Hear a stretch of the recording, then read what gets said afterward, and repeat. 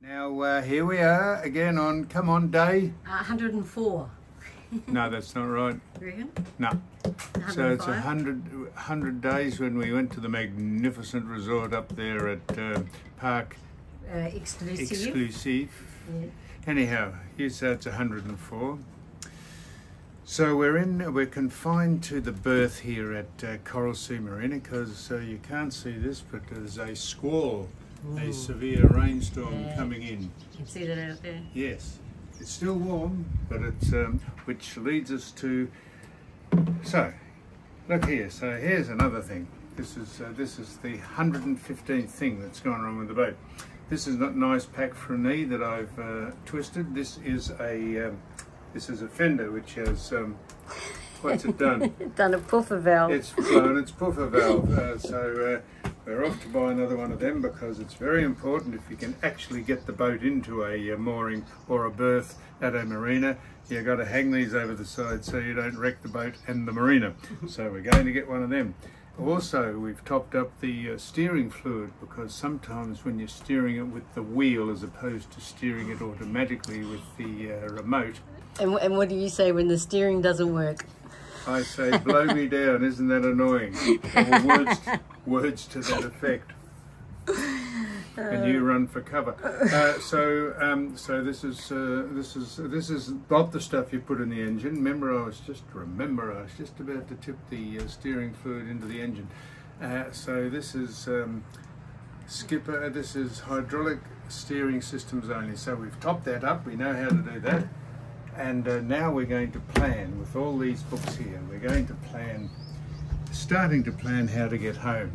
More importantly, uh, sailing home will be a piece of cake. It's when the wind turns and we have to beat the designated cyclone season. You've got to be south of Gladstone before a certain Novem- time, November, before? November. If you're not, you have no insurance on your boat because if a cyclone comes up and not only blows us, well, won't worry us, we'll probably be whirl- whirling around up in space, but the people who uh, are heir to the boat who I've left it to, my kids, they'll want to get uh, some sort of compensation for the fact that I've been stuffing around with their money rather than leaving it to them all at once. So uh, that's what we're about to do. We're going to try and plan, just cruise along, or not cruise along, sit inside here and work out And maybe if anyone's got any suggestions on how, we're, we're doing the Queensland bit, bit first, so go from Airlie Beach down to Gold Coast. Anyone got some suggestions that we might? Yep, I'll tell you what the at? main suggestion will be. Why don't you fly home and get a captain to bring it home or put it on, the, on a That's, ship? that's no fun. No, that's no fun. Anyhow, that's what we're doing. So I know these are all sparse uh, sort of entries for day 104, but uh, we could not report anything, and that'd probably. Uh, but you know, people say we want to know how you're going, and some people say that. A lot of people say that, and uh, we could maybe come back with some more comments. We get plenty of comments about how do you live your life, how we should live our life, Sue and I, what we be, should be doing together, what the boat should be doing. We're getting it serviced now. Someone said, "Oh, if you're going to take your boat and whinge about how many things go wrong, then why don't you get it serviced?" Well, we're going to get it serviced. The Caterpillar people, Caterpillar, coming down uh, next week, this coming week, and they're going to service the boat. Uh, God knows how much that'll be, but what's it matter? What price on safety? I tell you what, if there's a uh, choice between it costing an arm and a leg, or uh, me being able to pay for it, I'll, I'll, I'll gladly dispense with an arm or a leg just so I can afford it. No, we won't. Safety is no price on safety, so they'll be here during the week and we'll tell you what they found, what's wrong with it. Here comes the old timer. Let's go. I tell you what, uh, I've only got this on here because there's some places you're not meant to ride a scooter, so I have a dispensation from the marina. And this tells people you wouldn't believe how many different comments you can get from people just as you go by an aside or they stop you and uh, they say, Yeah, we knew you had issues from when you were playing football, when you were on television, when you were doing this. We know that. You don't have to advertise, it's extraordinary.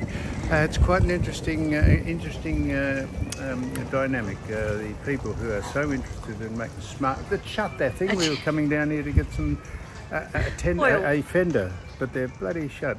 anyhow, there we are. So uh, it's uh, quite interesting. Uh, just push on anyhow, regardless. So we decided to uh, kill two birds with the one stone. What? What are you doing? Just stick my thumbs up, Oh, boys. yeah, all the best, boys. Yep, take care. Yep. We decided to kill two birds with one stone. We thought we'd come to the chandlery and get a cup of coffee, replace the fender at the chandlery, and just reload, just get a bit of a fizz up for the rest of the day with some coffee. But things are at a different pace up here in Airlie Beach. The coffee shop shut, uh, shuts at noon. Not sure why it'd open at all if it shuts at noon. And the chandlery, believe it or not, on a weekend, shuts at noon.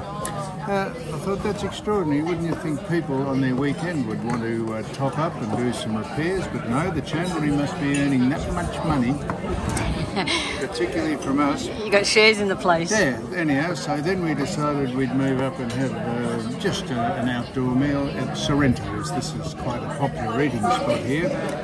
And uh, reflecting on some of the things we did yesterday, I, uh, in yep, that's, uh, that's it there. Just so I do the view. Yeah, of course. In my naivety, I said uh, about um, uh, talking about fuel, which I know nothing about, but someone said that it has a. What did they say about diesel, Suzanne? They Has a said it higher has a higher flash point rate. Yes, that's it. Therefore, I was half right. I was completely right. It doesn't combust if you throw a match on it. And then someone, I uh, said the mechanics of a a, a, a, um, a, a uh, piston engine or uh the mechanics of a combustible engine, combustible, uh, is uh, suck, bang, blow, push or something. And they said, oh, yes, you were half right. It's, what was it? Um, Suck, so it sucks the air in. It pushes it into the Blows. uh, what? Is it no, blow? it sucks.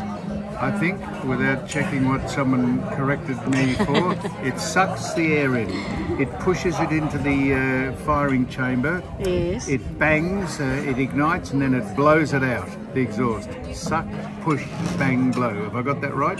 Uh, Tell me that's correct. Uh, uh, suck, squeeze, bang, blow. Suck, squeeze, bang, blow. That's from one person, and that's a, four-stroke Uh, com- can I just can I just tell you, there's people listening to this on the other table, and they think we're being um, Rude. They think we're making a porn video because I said suck, squeeze, bang, blow, and the woman went, and she said to her husband, she went.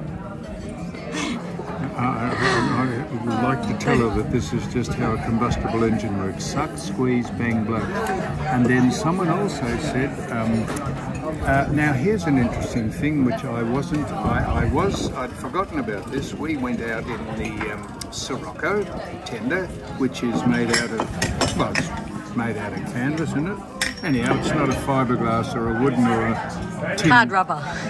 rubber. Hard, hard, well, hard Soft ru- rubber. hard, soft, hard rubber.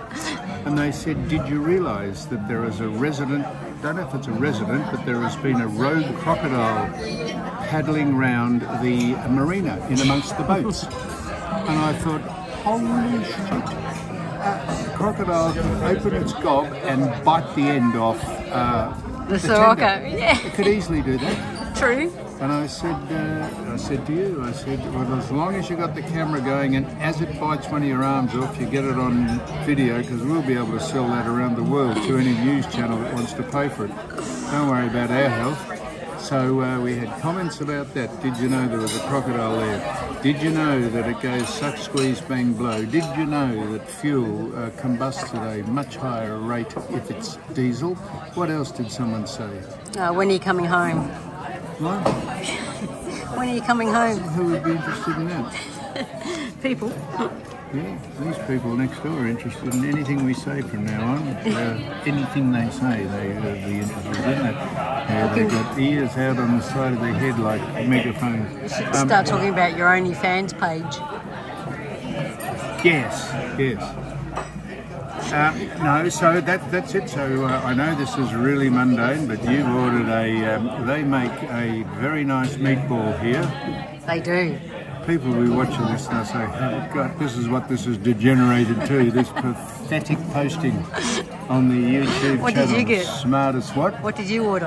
I ordered a, uh, a mushroom risotto with asparagus in it, so there goes my wee. if you have a so I, when I urinate on the boat,